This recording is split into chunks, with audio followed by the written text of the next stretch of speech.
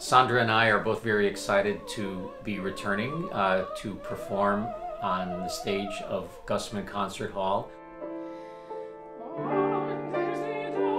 For a beautiful program including songs and operatic selections by Richard Strauss, Giacomo Puccini, Ernesto Lecuona, um, Amy Beach, among others. We look forward to seeing you at this concert. On Monday, April 25th at 7.30 p.m. at Gusman Concert Hall.